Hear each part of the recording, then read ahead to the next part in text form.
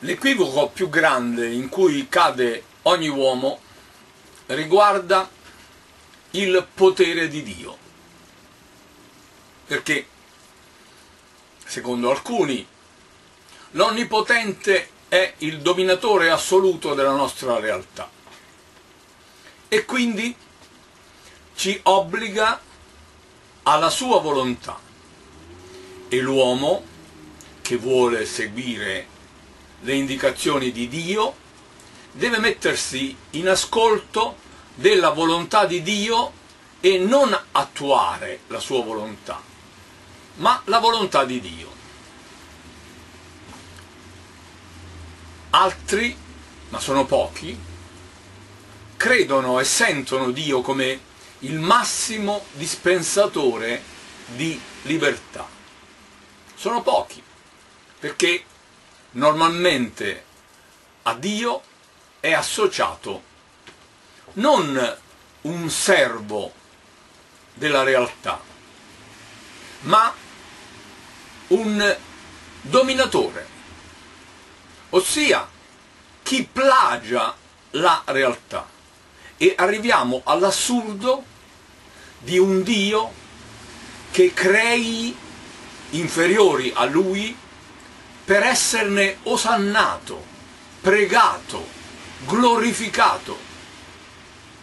Se Dio fosse così, che squallido sarebbe questo Dio, che crea per la sua vanagloria di essere lodato, che fa il bene per essere glorificato, che crea gli uomini mortali, sottoponendoli poi a un giudizio terribile, affinché domini, dopo di avere diviso e fatto come un qualunque Cesare che prima divide e poi comanda.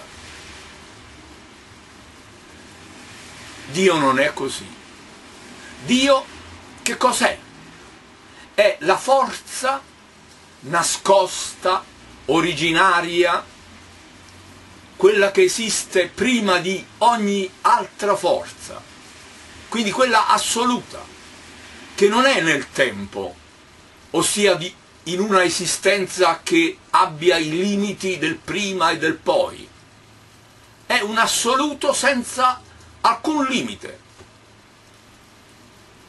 Questa è la condizione di Dio essa rischia però di essere la vittima di se stessa, perché una esistenza che esiste solo in potenza di esistere, ossia come una pura potenzialità, è simile a uno scrittore che abbia un bel romanzo nella sua testa e non si decida mai a metterlo giù in modo ordinato e per iscritto, oppure a dirlo a voce, in modo che questo suo disegno passi dalla condizione potenziale dell'esistenza a quella reale.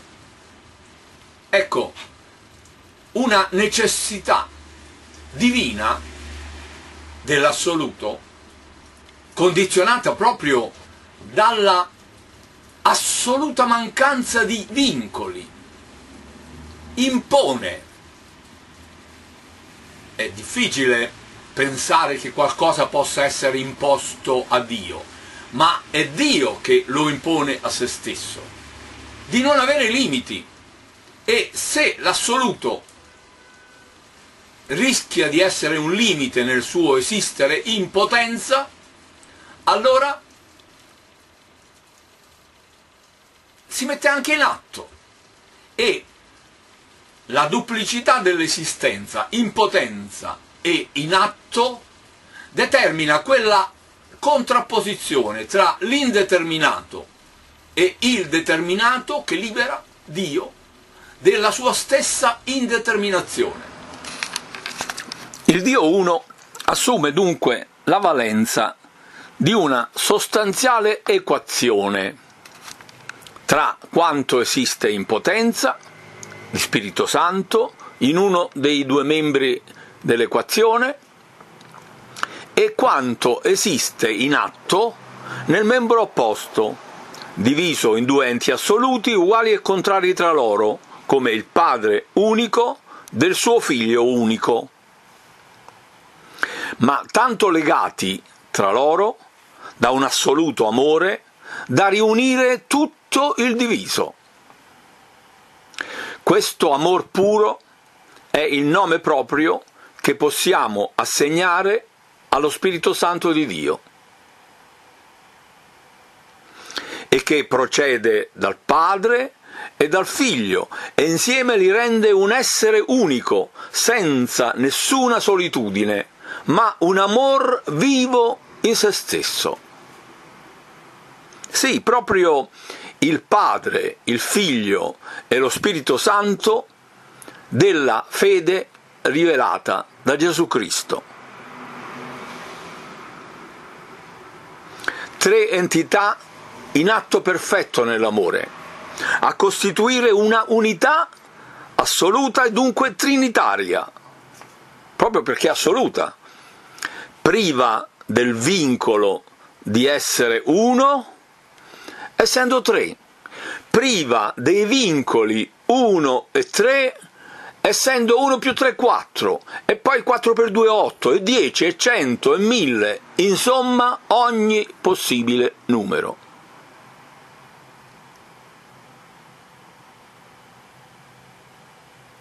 La potenza di Dio entra in atto reale attraverso il numero 10 che associa 1 con 0 ossia quanto è in atto di un calcolo unitario con quanto è in potenza zero di quel calcolo.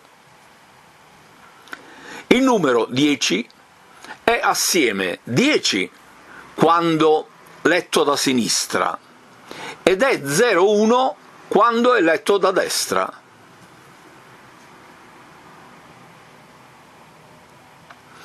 Il suo valore assoluto che non dipende dalle letture e quindi consideri le due opposte letture è 10 più 0,1 uguale 11. Il diotrino, costituito da 3 10, è 30 letto da sinistra ed è 0,3 letto da destra. Quando è assoluto è 30 più 03 più 33, la vita di Gesù Cristo.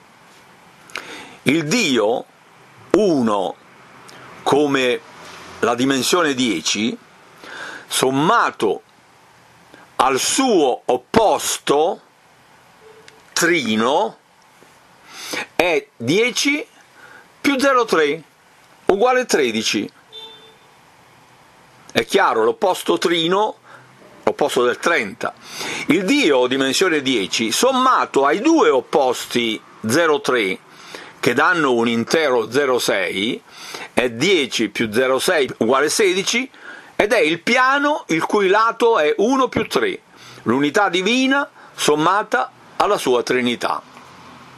Ebbene, abbiamo ottenuto varie dimensioni, sicché 1 più 11 più 13 più 16 sono lo Spirito Santo dell'unità di Dio e l'intelligenza dello Spirito lo nomina amor, creando il linguaggio alfanumerico della Cabala ideale. In questo modo matematico domina Dio, usando veramente il 10 a creare l'infinito universo lo pone in atto dividendo il 10 per il 10 privato della sua unità, dunque per il 9. Il risultato, il 10 diviso 9, è 1,111, l'eterno decimo del ciclo 10 precedente, tanto che è 10 più 0,1 uguale 11 per sempre. È in questo modo matematico che l'assoluto, dato dalla dimensione 10 di Dio, che associa la divina potenza al suo reale atto. si trasforma da assoluto in una infinita determinazione presente in atto. Essa si mette a servizio dell'esistenza e, dominandola nel mentre la serve, è onnipotenza. La divina onnipotenza esalta la sua potenza proprio attraverso il servizio. Pertanto, nel nostro mondo reale, il Dio onnipotente si è asservito all'uomo, è servo per amore. Non è il despota che vuole servi, ma quell'amore superbo, grandioso, che nega se stesso nel vero amore per ogni figlio, generato come la parte viva e reale di se stesso.